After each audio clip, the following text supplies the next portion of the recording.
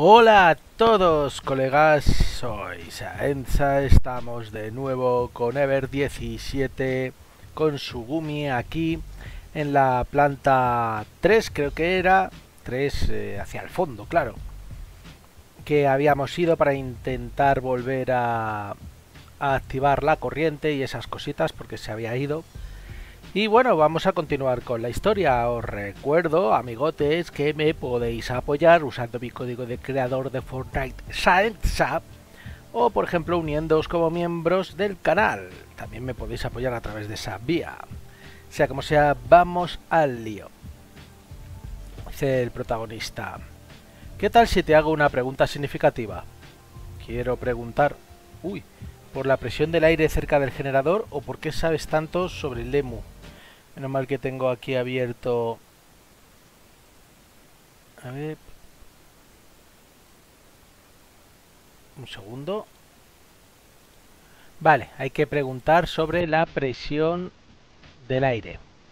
Había algo que me estaba molestando, así que decidí aprovechar la oportunidad para preguntar sobre la presión del aire en la sala del generador. Hasta que cerraste esa válvula, la sala estuvo bombeando agua súper caliente, ¿no? Y esa agua se convertía en vapor que se acumulaba más y más ahí dentro.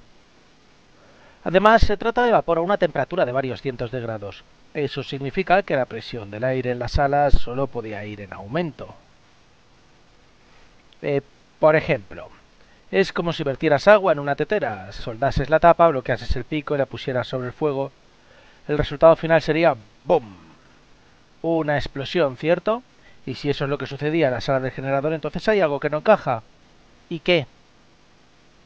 Eh, quiero decir, ¿por qué no explotó? Que recuerdo que en la sala del generador había mucha temperatura, había vapor de agua y estuvieron cerrando las llaves que daban calor ahí o algo así, ¿no? Ay.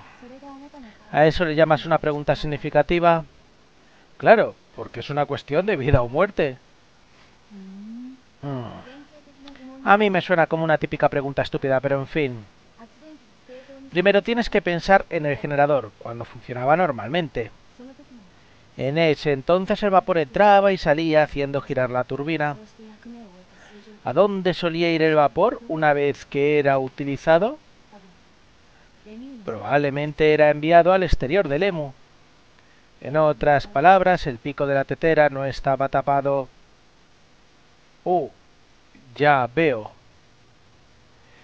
La sala del generador estaba conectada con el exterior por un tubo o algo así.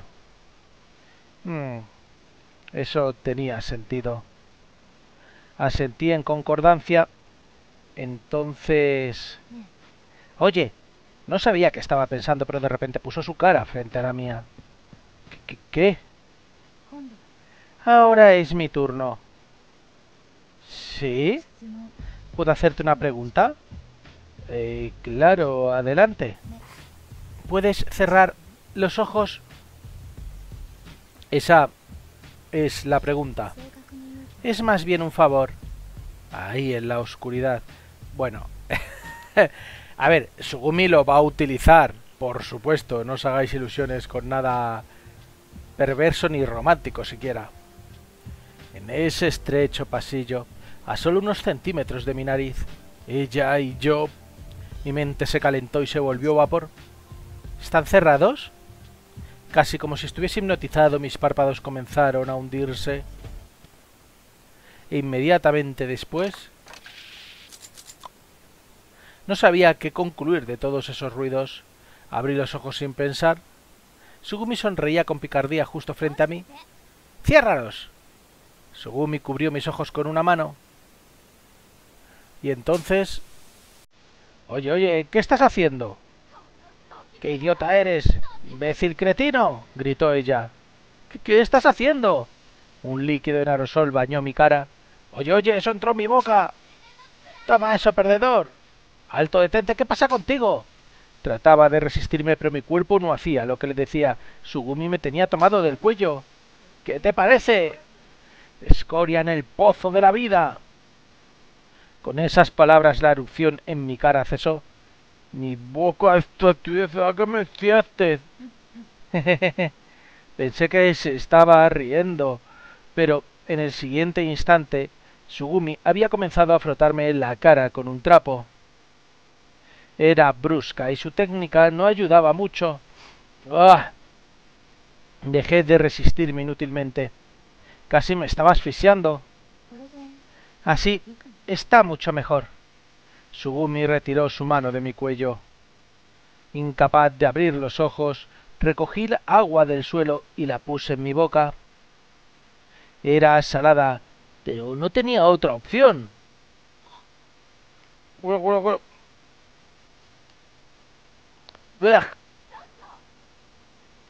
Oye, no escupas esa suciedad hacia acá. Tú, tú, tú. Quería decirle algo, pero lavarme la cara tenía prioridad. Recogí más agua, me la eché en la cara y volví a hacer gárgaras. Abrí los ojos. ¿Qué mierdas ha ocurrido, chicos? De verdad, no tengo ni idea, ¿eh? Uy, a ver, perdona. ¿Qué crees? Coño. ¿Qué crees que estás haciendo? ¿Qué me echaste a la cara? Acetona. Oh, genial. Estoy tan feliz de que no fuese algún pesticida. ¿Crees que hablo en serio, idiota? ¿Estoy bromeando? ¿Por qué me echaste eso en la cara tan repentinamente? Era difícil mirarla. Eh, ¿Qué cosa? ¿Tu cara? ¿Cuál cara? La tuya. Y entonces me di cuenta de algo. Recordé la tinta negra que había visto en las palmas de mis manos. Ya veo. Fue por el graffiti. Aún estaba ahí. Borraste todos los garabatos. Lo había olvidado por completo hasta ese momento. Mientras hacía los emparedados, mientras buscaba a todo el tiempo la tinta había estado en mi cara desde esa mañana. Y la acetona. Acetona, eso es para quitar la pintura de uñas, ¿cierto? La encontré en la caja de herramientas. Había dejado un fuerte hedor en el aire. Se pegaba a mi nariz como fruta podrida. Olía como una resaca. Gracias. Le agradecí. ¿Y qué decían los garabatos? Le pregunté sobre el graffiti. Puedes esperar si quieres, pero no voy a responder porque es una pregunta inútil. Al final nunca llegué a saber por qué me llamó babosa. Esperamos a que la sala del generador se enfriase antes de entrar. Adentro el calor desafiaba la imaginación. El aire en la sala llena de vapor era pesado y se pegaba a la piel. Inhalar se sentía como tragar grumos de vapor ardiente y pegajoso. Estaba abriendo y cerrando mi boca como un pez fuera del agua. ¿No te cuesta respirar? Al parecer Sugumi consideró inútil mi pregunta, una vez más. Me ignoró totalmente y comenzó con el trabajo para restaurar el funcionamiento normal del generador. Hicimos el trabajo juntos. Sugumi me daba órdenes y yo las seguía.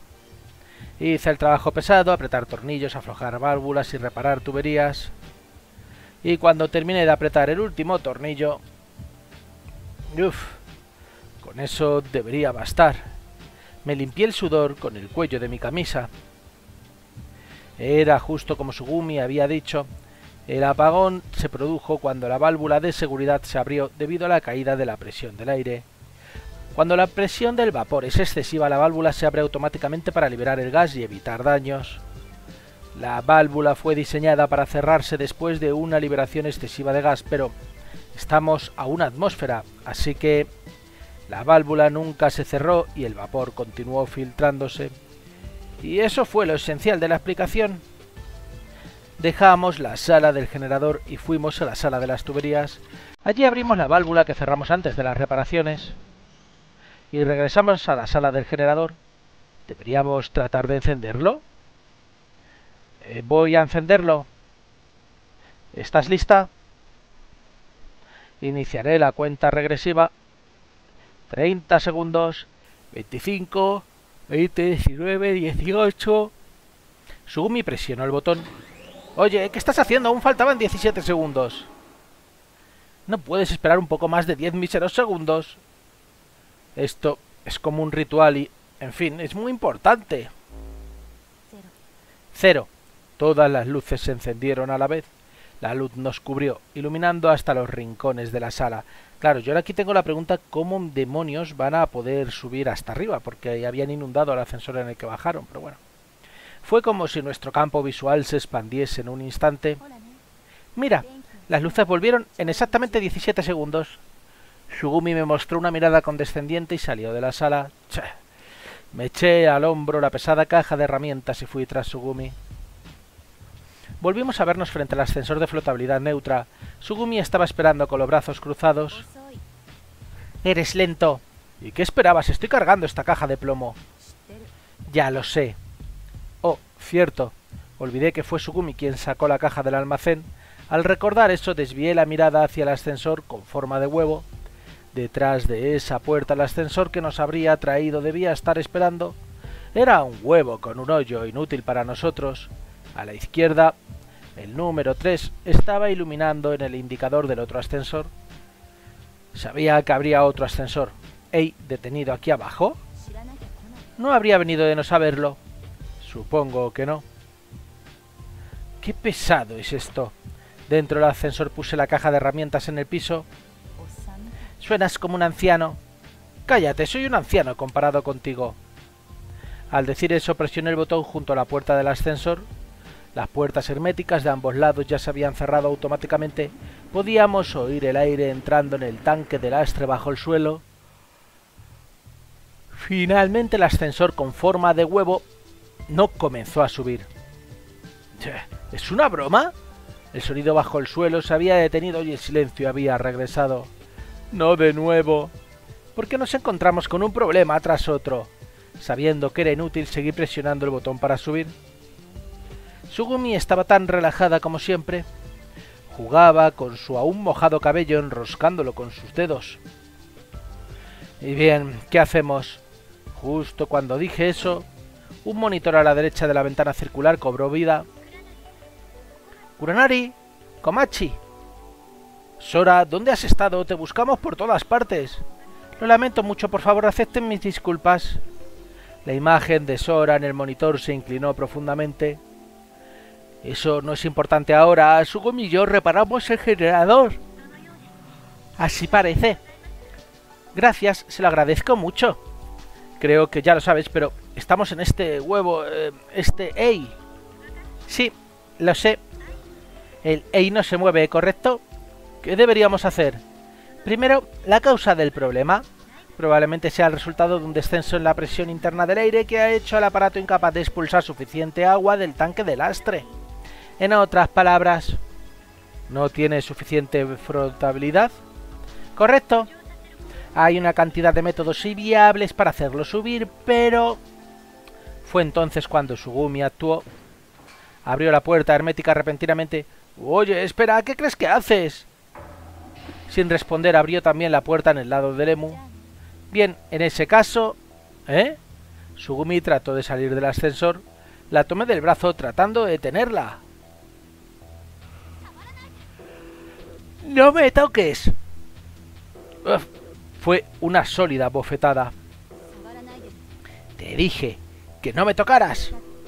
Me dolía la mejilla. Distraídamente vi a Sugumi salir del ascensor. Iniciando, el huevo comenzó a ascender silenciosamente. Ya no podía verla en el otro lado de la puerta. Profundidad 50 metros. Profundidad 45 metros. Profundidad 40 metros. El anuncio grabado reverberaba con un sonido metálico. ¡Oh no! ¡Sugumi! ¡Sugumi! Se ha quedado ella abajo, ¿no?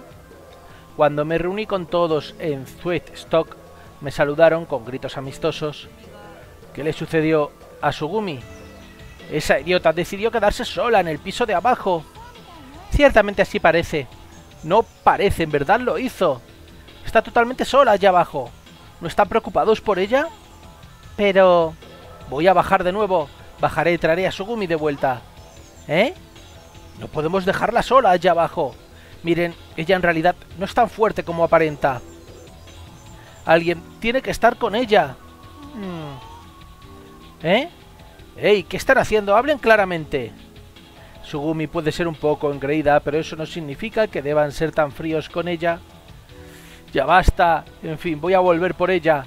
Dicho eso, volví a la entrada del ascensor y esperé frente a las puertas. Entonces... Claro, pues la habrá vuelto a llamar, ¿no? Cuando la puerta se abrió... Simplemente han hecho el viaje de uno en uno. Eh, ¿Puedes apartarte? Me estás estorbando. Me quedé simplemente inmóvil. Me apartó del camino y pasó de largo. No había ninguna roca bajo la cual meterme, así que hice lo más parecido que se me ocurrió. Profundidad 35 metros, profundidad 40 metros, profundidad 45. Regresé a Stock en el huevo sin razón alguna. No tenía suficiente flotabilidad, así que debíamos subir uno por uno. Cielos, qué estúpido soy. De haber podido, me habría gustado hundirme hasta el fondo del océano Había pasado casi una hora desde que había vuelto la energía. Nos reunimos en la sala de conferencias del tercer piso. Sugumi, Sora, Yu, Koko y yo estábamos sentados en silla dejando pasar el tiempo. El equipo de rescate aún no había llegado. Nuestra situación no mostraba ninguna señal de cambio. Ah, ah. Mi bostezo se propagó de una persona a la otra. Solo Sora tenía la cabeza gacha y parecía estar pensando en algo. Hostia, chicos, que sigan sin darse cuenta de que es una... Bueno, el protagonista de que es un holograma. Pero lo que más me escama de todo esto es que hay personajes que evidentemente lo saben, como Sugumi, y no lo dicen. Y dejan que el protagonista ande equivocado y no sé por qué motivo. En fin.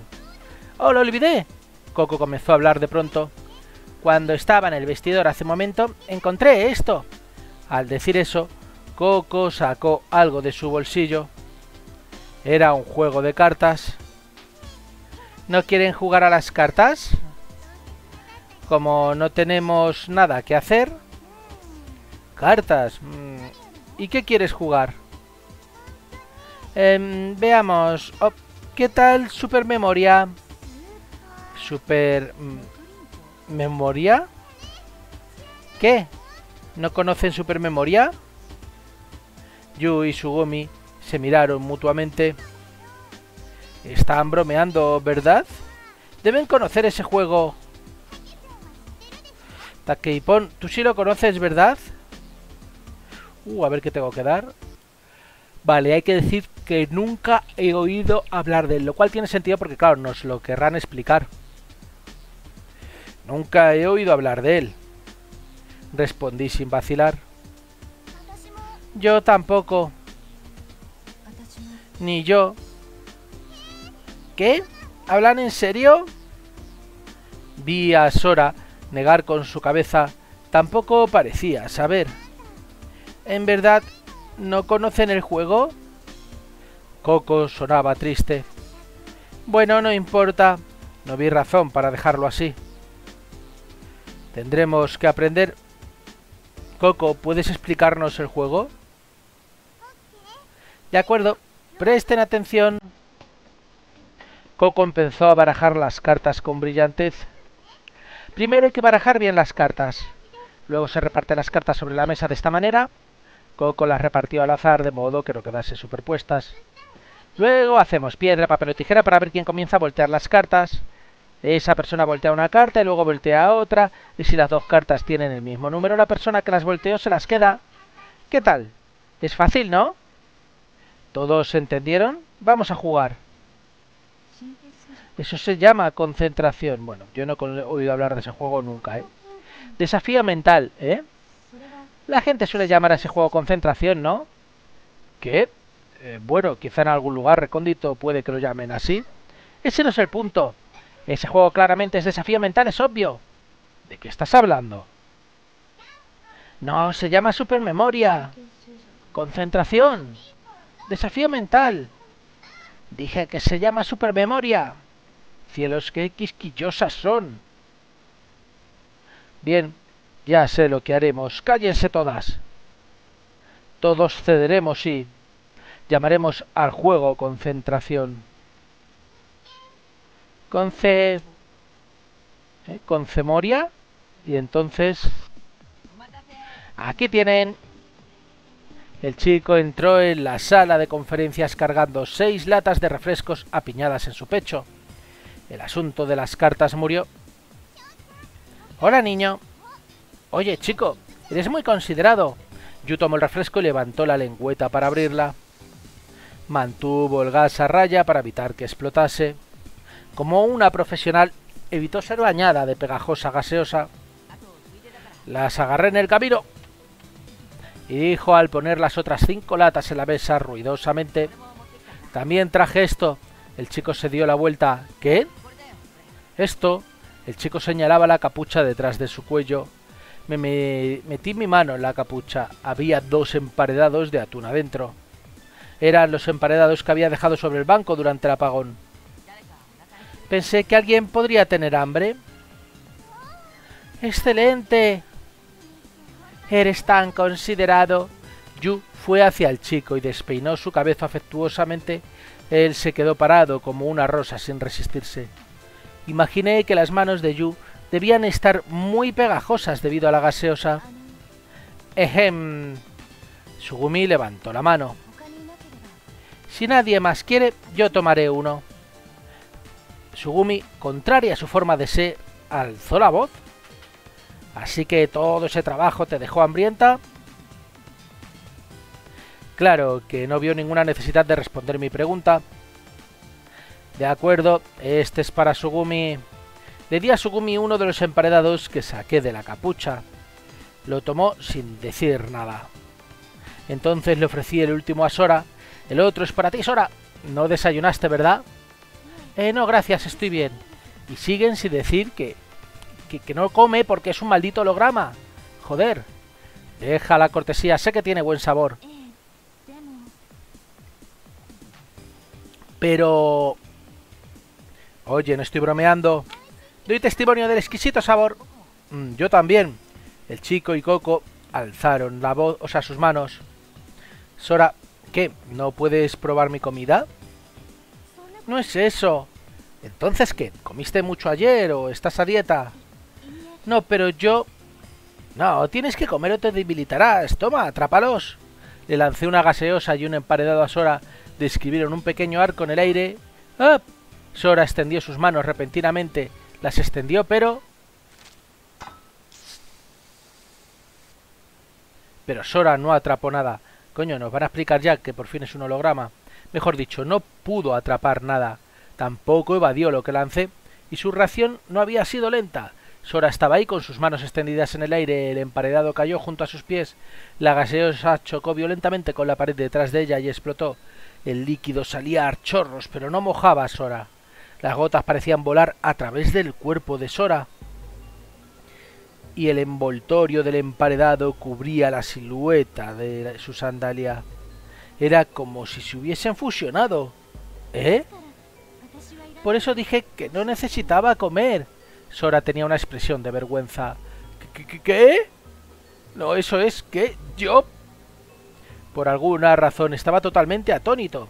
Los lancé suavemente. Pero qué raro, deben haber resbalado de sus manos. No sé, el protagonista es retrasado mental, ¿eh? Perdona, Kuranari, pero no hay nada extraño al respecto. pero la gaseosa explotó y... ¿No se arruinó tu vestido? Sí, pero estás parada sobre el emparedado y tu pie no tiene dedos, Sora. Oh, Dios mío, ruego me disculpen. Y como si nada, los dedos perdidos de Sora reaparecieron. Pero el lugar donde debía estar el emparedado ondulaba erráticamente. Me sentía nervioso, no sabía qué estaba pasando. Eh, Kuranari, supongo que no lo sabías. Sora atravesaba los pies avergonzada. ¿Qué rayos eres tú, Sora? Ay. Por alguna razón, Yu soltó un gran suspiro junto a mí. Y entonces... Río a carcajadas. Tuve que quedarme mirando porque era muy gracioso Kuranari. Tú en verdad no le prestas atención a nada. ¿De qué estás hablando? Aún estaba confundido. De la explicación de la entrada del emu. ¿O hay que contestar algo? Vale, obviamente hay que preguntar. ¿Y qué hay con eso? Miré alrededor y noté que era el único que estaba sorprendido. Coco y Pipi miraban a Sora con caras de impresión. El rostro de Sugumi no tenía expresión alguna. El chico parecía perdido y distraído. ¡Vaya, qué cómico! Yu se reía de mi desconcierto. Ya deja de reírte a mis expensas. Dime qué está pasando. Está bien, está bien. Sora, perdona la molestia, pero ¿podrías volver a presentarte? Sí, por supuesto. La lata pinchada había dejado de burbujear. Sora dio un paso hacia nosotros, con cuidado, como para evadir el emparedado y se enderezó. Después de una leve reverencia, habló. Soy Sora Kanegasaki. Mi nombre oficial es LMRSDS4913A. Soy un programa de inteligencia artificial OIA, a cargo de guiar a los visitantes dentro del EMU. He sido programada como una parte del sistema LEMI. Si me llaman desde cualquier terminal, apareceré enseguida en cualquier lugar dentro del EMU. Mi imagen los alcanza mediante una red que mantiene un sistema de teledetección RSD por todo el complejo. Creo que pocos lugares en el mundo cuentan con este tipo de tecnología. RSD. En verdad es poco común, nunca había visto un ejemplo tan sofisticado.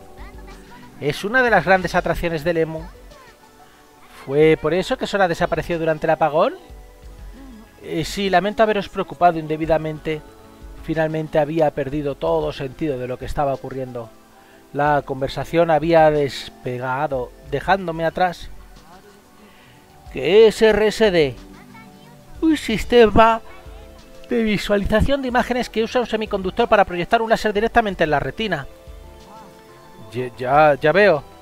El chico hizo un gran asentimiento, pero esa explicación no parecía nada simple para mí y cuenta con una personalidad tan avanzada, lo sorprendente era que Sugumi estaba participando debidamente en la conversación. Lemu es bastante perfeccionista cuando se trata de tecnologías virtuales. Mi existencia es una manifestación de eso. ¿Eso no requiere un gran sistema? Sí, pero mucho más pequeño de lo que habría sido hace 20 años. ¿Cuán pequeño? ¿Dónde está? Quisiera verlo. Eh, lo siento, no estoy autorizada para decir eso, es un secreto. ¿Nunca te dieron los detalles? Correcto. Me parecía que la conversación se volvía cada vez más y más técnica. Parece que tienes motivación y voluntad propia, que estás programada para tener tu propia forma de pensar. Simplemente expreso los resultados de una enorme base de contactos de, nuestros de muestreo aleatorio que selecciona mi respuesta. Aleatorio. Oh, ya veo, eres un programa que aprende a almacenar respuestas positivas de esa manera y reutilizarlas. Correcto. He sido diseñada con un énfasis específico en las funciones de curiosidad y concentración. El análisis morfológico de mi entrada auditiva probablemente opera a una velocidad y un nivel de precisión sin igual. También hay una cantidad de tecnologías especiales que se usaron para crearme, pero los detalles específicos de estas son secretos industriales que no pueden ser revelados. Ya veo. Hay cosas sobre ti que la IA normal no puede explicar, pero creo que entiendo. Yo no entendía absolutamente nada. Era más bien como un dolor de cabeza. Por cierto, Sora, si te dijera que en realidad soy un hombre, ¿me creerías? ¿Eh? Sugumi sacó bizarra pregunta de la nada. Que nadie interrumpa todavía. Le pregunté a Sora, entonces ¿me, ¿me creerías? No, bueno, ¿y si lo dijera que tengo más de 20 años? Eso es posible. Soy soltera y probablemente seguiré así. Eso es lo que creo. Eso bien podría ser verdad. De hecho, acabo de descubrir que Takeshi tuvo un cambio de sexo hace tres años. ¿Es verdad? Eso no lo puedo creer.